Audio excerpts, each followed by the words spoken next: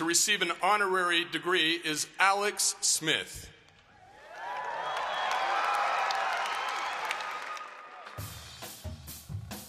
Alex Smith is well known to University of Utah fans. He is the quarterback for the Kansas City Chiefs, a University of Utah graduate, and a generous philanthropist. Before playing professionally, Smith posted a 21 1 record as quarterback for the U football team, leading them to postseason victories in 2005's Fiesta Bowl and the 2003 Liberty Bowl.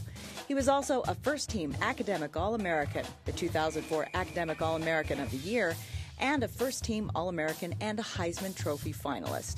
Smith earned a bachelor's degree in economics in just two years with a 3.74 GPA and began work on a master's degree before being drafted. In 2007, he started the Alex Smith Foundation and the Alex Smith Guardian Scholars Program, which helps send foster teens to college. 23 of the 30 teens who have received scholarships since 2007 have since graduated, and many are now working toward graduate degrees.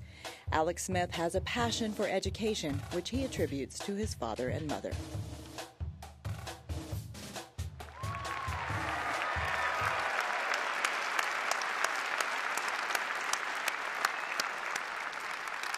Will Alex Smith please rise and will Trustee Kevin Rowe and Dr. Sylvia Torti, Dean of the Honors College, please escort him to the podium?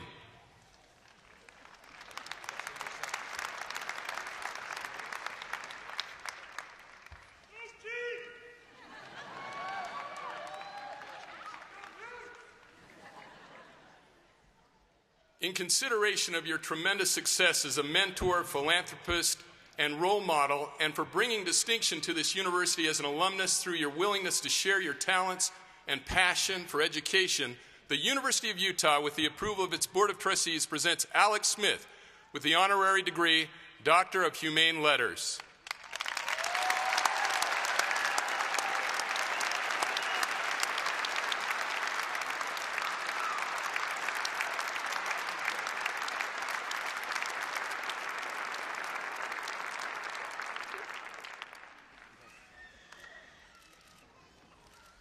And once again, congratulations to all of our honorary degree recipients.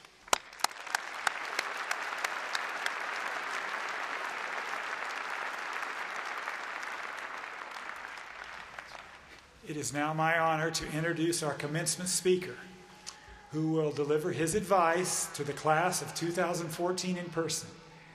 We welcome Dr. Alex Smith. Doesn't that sound great? As our commencement speaker. Alex?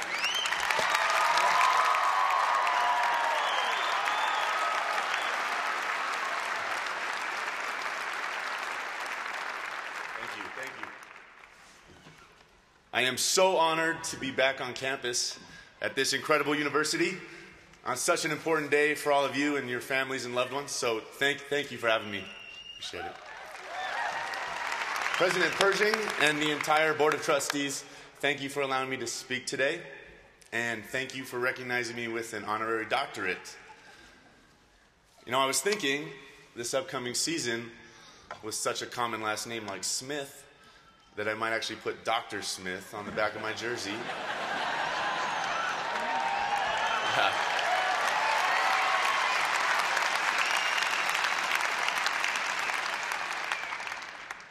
But more importantly, I can now prescribe advice to you because I'm a doctor. it's, uh, it's been almost 10 years to the day that I graduated from the U, and I've had many ups and downs over the course of that time. And there's really three concepts that I've learned and relied on uh, over those years. They are one, identify my weaknesses, two, embrace the new, and three, letting go of what I cannot control.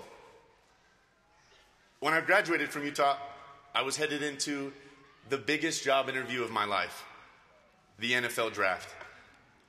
As you can imagine, I wanted so badly to impress. I wanted to be perfect. I tried to be the perfect draft prospect. In my meetings with the coaches and executives, I tried to be the perfect interview. At the combine and at my workouts, I tried to be the perfect player. I tried to promote my strengths and conceal my weaknesses. And on paper, I kind of succeeded. I was the first pick in the draft. Yeah. yeah. And with that, I inherited this big, shiny trophy that I carried around and had one word engraved on it, and that was anxiety. you see, the, the problem was, and this is the point, I felt like I had to be perfect to justify my draft status. I became my own worst enemy. I constantly stressed for others' approval and worried about what they were thinking. I felt like I couldn't even make the smallest of mistakes. And then when I did make a mistake, I agonized over it. This became a paralyzing cycle. I became cautious, I was tentative. My entire mindset became don't screw up. Literally, I would tell myself, don't screw up.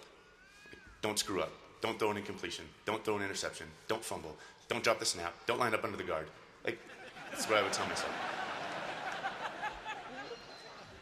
I was young, and I let my insecurities and own self doubt get the best of me.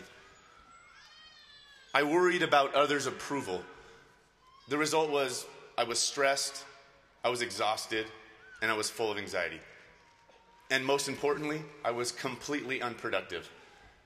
My first prescription we are not running for most popular. Instead, I encourage you all to run for most respected, unless Ray Lewis is chasing you. And then I encourage you to run for your life.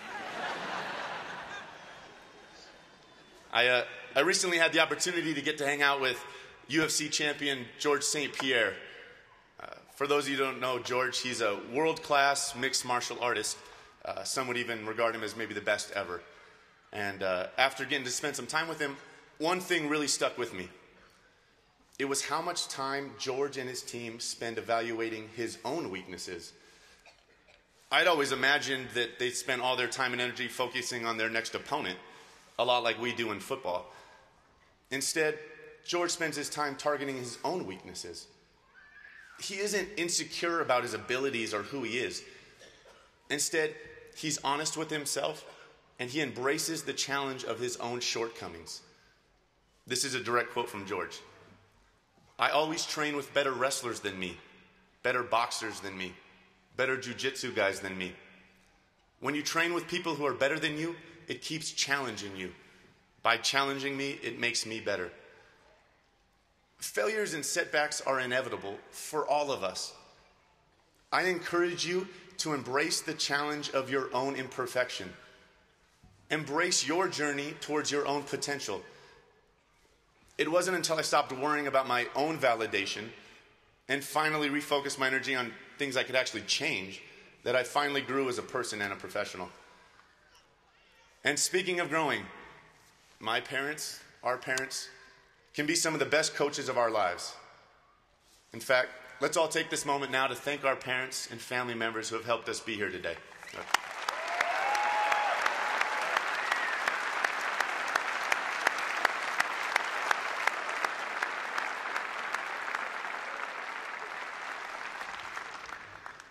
Okay, now that we've had that nice moment, I can now tell you how my dad traumatized me my senior year of high school. He was the master of making me embrace the new. You see, when I was in high school, my dad also happened to be my principal. Yeah. And one of the perks of my dad principal was that he got to make my schedule. So, my senior year, when all my buddies had one or two classes and spent half their time off campus hanging out, having fun, I had a completely full schedule. And one of the classes he signed me up for was competitive speech. Now, next to snakes and heights, public speaking was pretty much one of my biggest fears. I was literally more comfortable throwing passes on third down than I was getting up in front of people. But he made me do it I had to embrace the new. And I'm glad I did because little did I know, 15 years later, here I am speaking to all of you. On a side note, he had also signed me up for these Rotary speech competitions. And uh, part of the criteria for these competitions was that it had to be an original oratory. uh, meaning you had to write the speech as well as give it. And uh, funny story, true story, the topic for my speech was overpaid professional athletes.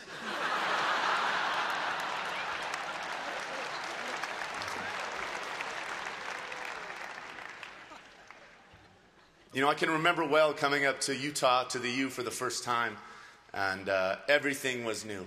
I can remember moving into the dorms and uh, same thing, you know, a, brand new experience. Remember well going up to the Heritage Center for the first time and eating, and uh, same thing, didn't know a soul. And uh, mind you, this was pre smartphone era, so I couldn't do the old pull my phone out and pretend like I have all this stuff going on. so you know what? You, you, look up, and I realized that everybody else was feeling the exact same way. We were an entire room full of new. And I just needed to have the courage to get up and walk across the room and make a connection. Because there's one thing that's certain in life there will always be cycles of new. First dates are new, job interviews are new, grad school is new, marriage and parenting is new having seven offensive coordinators in seven years is new. we can never fully plan our future, so don't try. And how many of you graduates know what you want to do today for the rest of your lives? I know I didn't when I got my diploma. And that's really okay.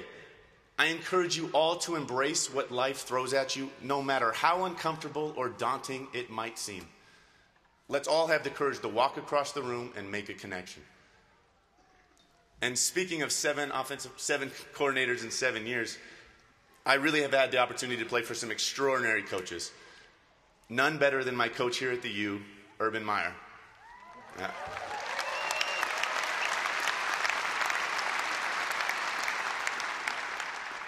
Now, Coach Meyer used to always tell us this if what you want is different than what you have, then you need to change what you are doing.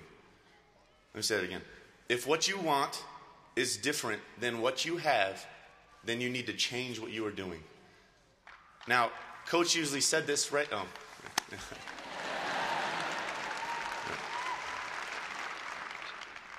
coach used to say that right before he asked us to do something really crazy. But he was right. If we wanted to be, I don't know, the first school to break down the BCS, we couldn't just keep doing the same old thing. It's something that's really helped me over the years. It's actually something I tell myself every time that little voice in my head tries to get me to take the easy way out. My second prescription embrace the new, no matter how uncomfortable, and make it work for you.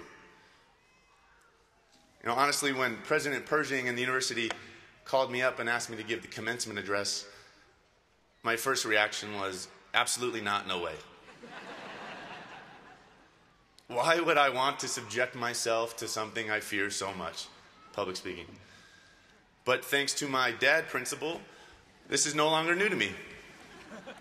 And that's the funny thing. When we embrace the new, we tend to conquer our fears.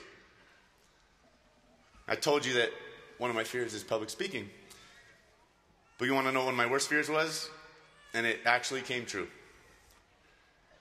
I could tell you guys about it, but honestly, I think it'd be better if I just showed you. So, if everybody could please stand. Please stand up. You guys are to have to trust me here. We'll break in the mold. Now, on the count of three, I want you guys to all boo me as loud as you can. hey, even you folks behind me and in the orchestra, it'll make it feel like a stadium. Now, I want you to really boo me. Pretend I'm Bronco Mendenhall or what's their QB's name? Taysom, Taysom Hill. Now, don't do it yet. I'm going to count to three, and then we'll start. And then when I go like this, stop, okay? And have fun with it, okay? Yell out some of your other favorite QB names. I don't know, a Manning, a Brady. If you're feeling really creative, a Kaepernick. no. No. no. No, no. There we go. Stop, stop, stop. You guys over here, I want you guys to yell out, you're a bust, as loud as you can. okay? And you guys over here, I want you to yell out, You ruined my fantasy football team. Okay, are we ready? Here we go. One, two, three, go. Yes. Good. Good, good. Thank you, thank you. Us. Come on. Yes. Good. Good. I like it. Thank you. Thank you. Okay, and and stop. That was good. You guys can all sit. Thank you. That went better than I expected. You guys are good at that. You guys over here with the, uh, you're a bus, that's good, but really point at the person when you're saying it. It gives it more direction. All jokes aside, that really happened, except times it by about 10. Imagine 80,000 people tearing you apart. And the heartbreak is, this was a home game. These were the very same people I was trying so hard to impress. Because you see, in this safe setting, I can control the boos. Because, well, that would just be awkward if you booed me off the stage at your commencement. but in the real world, we can't always change the boos and applause. And in one of the most challenging moments of my life, it hit me and brings me to my third prescription accept what you cannot control. We can only control how we react and we respond. And that complex but so simple idea helped me survive. In fact, it actually gave me peace of mind. And is truly why I am here today. Because it was a few years later, and I had thought I had silenced all of those boos. I thought I had silenced all of my critics when I really got tested. I thought I'd put all those hardships early on in my career behind me, and now I was on track, so close to the success that I'd always dreamed of. We were in the midst of a Super Bowl year, and I was playing the best football that I had ever played, and I got benched after getting a concussion. I was so close to the ultimate validation of my sport, the Super Bowl, and instead I watched it pass me by from the sidelines. In fact, the only time that I actually set foot on the Super Bowl field was for the coin toss because I was still technically a team captain. What I want you to all understand is this we're all going to strive for success, and I hope you all achieve it. But the truth is, at some point, you're going to find yourself on the bench. And you're going to have two choices. One, you can sit and sulk and feel sorry for yourself, or you can accept what you cannot control and you can refocus your energy preparing yourself for the next opportunity life brings you. If I had not taken my own medicine, I know I probably wouldn't be here today. I know I would not be a Kansas City Chief, and I certainly wouldn't be a doctor. and when we leave here, we all have a new season ahead of us. And in the beginning of that new season, in our own unique way, we're going to get to the field or graduate school or new city or new job, and we're going to plan. We're going to huddle up, we're going to call a play. We're going to get to the line of the scrimmage, and we're going to check the defense. And then a funny thing's going to happen. Things are not going to go as we planned. In fact, I can promise you two things are going to happen. One, things will not always go as we planned. And two, how you react and respond to the boos and applause is the only thing you can control. So, identify your weaknesses and make them strengths. Embrace the new and have the courage to walk across the room. And put your faith over your fears. They both can't exist together. From one University of Utah graduate to another, congratulations, class of 2014. Now give yourselves a hand. I don't want to hear Kaepernick or you're a bust.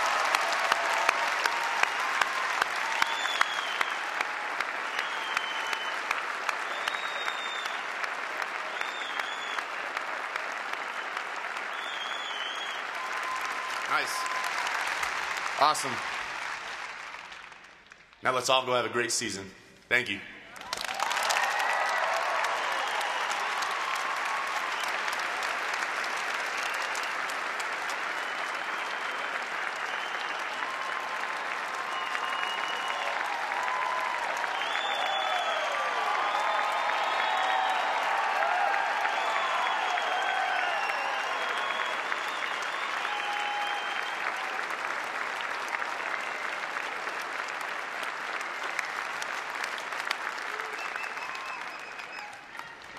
That was amazing. Now you can see why we were sure he should be Dr. Smith.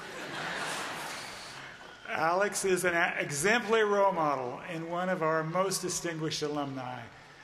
He is having a positive impact on the world, not only because of what he does, how well he throws the football, but because of the person he is. Obviously, we are extremely proud of him. Thank you so much for joining us today.